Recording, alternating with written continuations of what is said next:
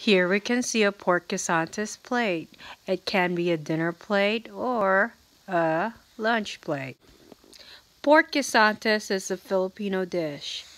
It is a cuisine that is made from pork and several vegetables. Vegetables, as we can see here, are green peas, potatoes, bell peppers, both um, orange and red bell pepper.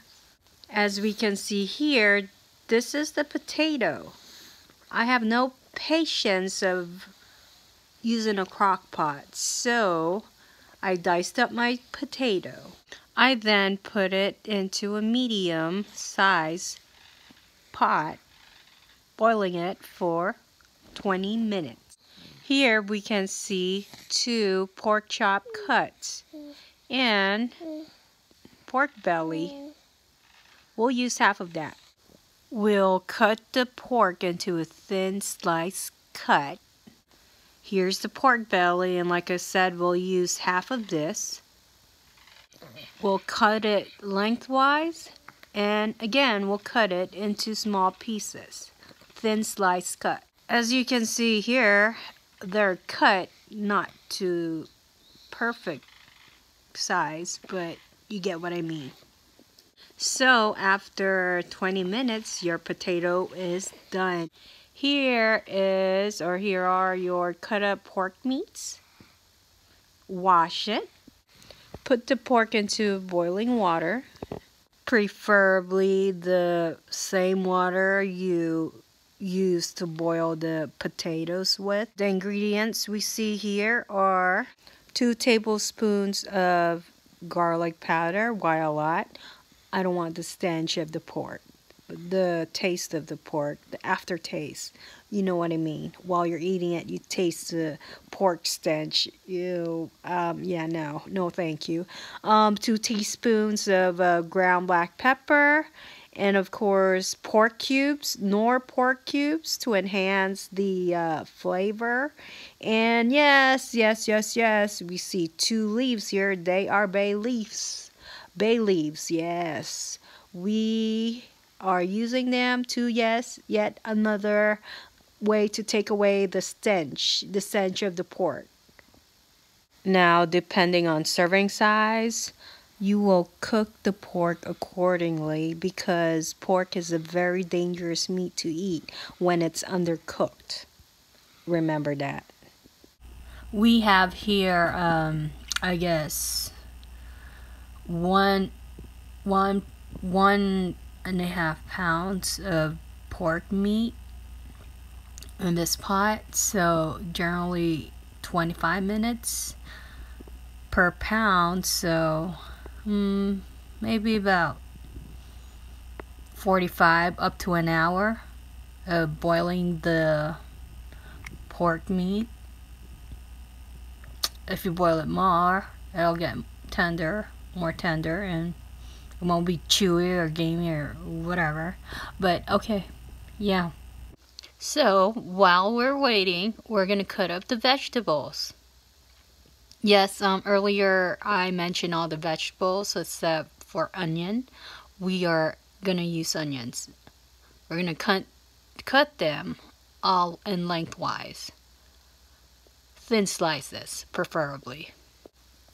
Like I said, thin slices, so there you go. Thin slices.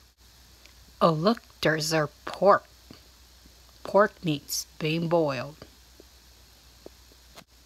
It's been an hour now, so we're gonna add our pre-cooked potatoes, diced up potatoes, and our newly cut into lengthwise onions. Yep. And mix it up.